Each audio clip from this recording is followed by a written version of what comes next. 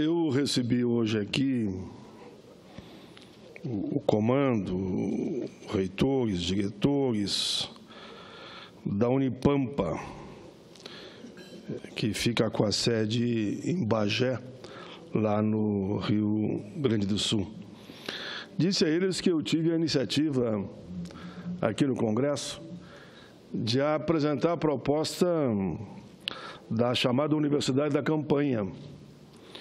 E foi depois dessa proposta que aqui apresentei, depois de uma ampla discussão com os professores do meu estado, é que o governo, muito corretamente, encampou essa proposta, assumindo então o nome de Unipampa.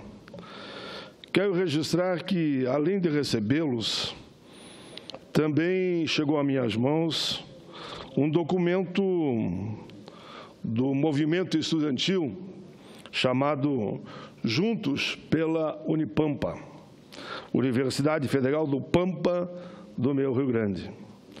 Esse documento tem o apoio dos professores, dos funcionários, da sociedade civil, e da Câmara de Vereadores de Jaguarão. E aqui eles me falam da dificuldade financeira dessa universidade, campus de Jaguarão. A Unipampa vem sofrendo ao longo dos últimos anos cortes orçamentários nocivos ao seu pleno funcionamento.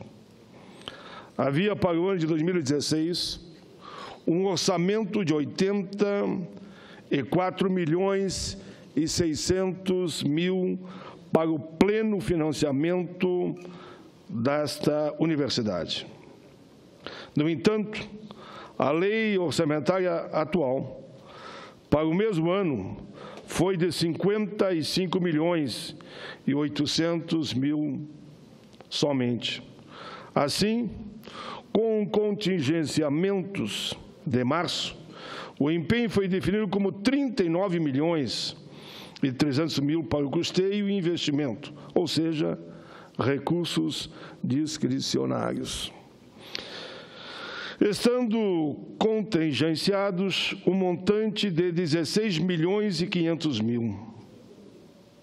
É válido aqui uma breve recordação sobre a importância da implantação da Unipampa para o cunho social, econômico e político da região do Pampa, região que historicamente foi preterida e após a implantação desta universidade, que contemplou dez cidades, já se via reflexos com a melhoria dos indicadores sociais.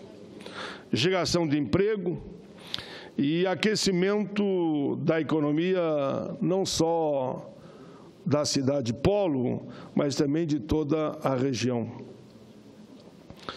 Como pode ser constatado, a Unipampa, além de ter grande importância na formação de profissionais para o mercado de trabalho e futuros cientistas para a nação, detém fortíssima valia socioeconômica e seu fechamento ou sucateamento vai refletir diretamente numa grande perda para toda a sociedade gaúcha e brasileira. Creio que isso não vai acontecer. Hoje pela manhã, quando recebi a visita do reitor da Unipampa, Marco Antônio Fontoura Ansen, e do vice-reitor Maurício Aires Vieira, e do pró-reitor Luiz Hamilton Pereira Júnior, acertamos ali que via emendas parlamentares, eu que mando emenda para os 497 municípios do Rio Grande, não fica um município sem receber emendas durante o meu mandato. Eu disse a eles que eu já mando a minha emenda individual de em torno de 10 a 15 milhões, toda para o ERGS, ou seja, investir tudo em educação. Não importa quem seja o governante, o que, se é PMDB, se é PT, se é PSDB, o que importa é investimento na educação para todo o nosso povo. E disse a ele que, no caso da, Uni, da Unipampa, eu manteria esse critério não da emenda individual, que essa está, desde que aqui cheguei, não adianta pressão de cá ou de lá, que eu mando tudo para o ERGS. Faço desde que cheguei nessa casa. Quanto à Unipampa, aí tem as emendas parlamentares, que é outro modo de ajudar aqueles que mais precisam. Eh, já me comprometi de fortalecer essa ideia, inclusive naquilo que me toca, acertando a indicação de emenda para a nossa querida Unipampa. Eles saíram daqui, percebi eu, fortalecidos por essa visão que tenho de que a educação é fundamental para o desenvolvimento do nosso país e combater a miséria, a violência e fazer com que negros, brancos e índios tenham um lugar ao sol a partir do conhecimento, e isso se dá naturalmente pelo processo da educação. Mas queria ainda, senhora presidenta, senadora Ana Amélia, eu tinha para a semana que vem um grande evento na cidade de Pelotas, aquilo que venho fazendo pelo Brasil e pelo Rio Grande. Estou no segundo roteiro pelo Brasil e o segundo roteiro também pelo Rio Grande, que foi dividido em regiões agora.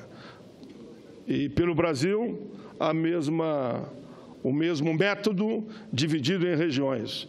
Mas na semana que vem, eu tinha acertado que quinta e sexta eu estaria na região sul e já estavam previstos a presença de em torno de mil líderes na cidade de Pelotas para debater democracia, reforma da Previdência, direito dos trabalhadores, e aí entra tudo, terceirização, negociado sobre o legislado, o, o desmonte da CLT, enfim, esses temas que a sociedade brasileira está assustada, mas está discutindo.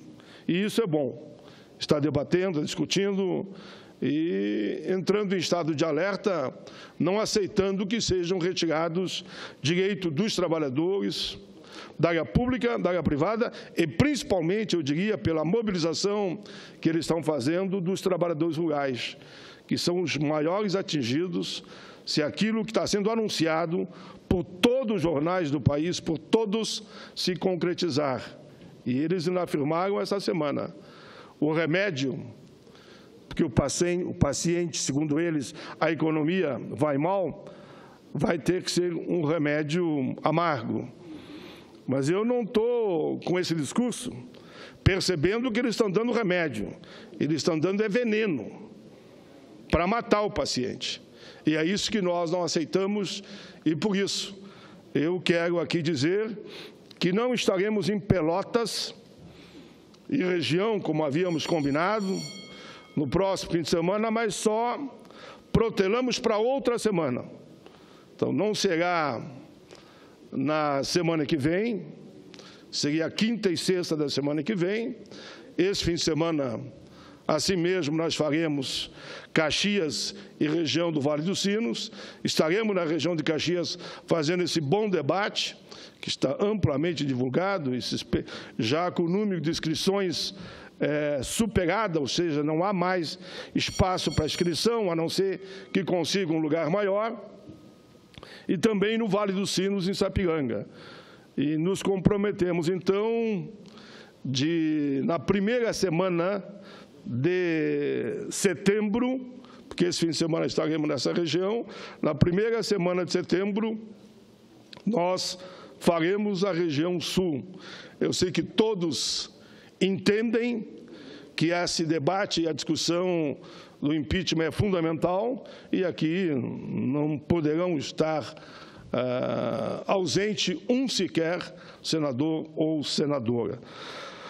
Senhora presidenta, eu nesse momento, então, peço a Vossa Excelência considere na íntegra os meus pronunciamentos e vou para uma outra reunião que vai tratar dessa questão de impeachment e depois vou para uma reunião no seu gabinete, conforme. Só vou fechar com essa fala. Eu e Vossa Excelência e o senador Lazia, porque se encontra no exterior, se não me engano, é, vamos ter a alegria de receber o senador Pedro Simão.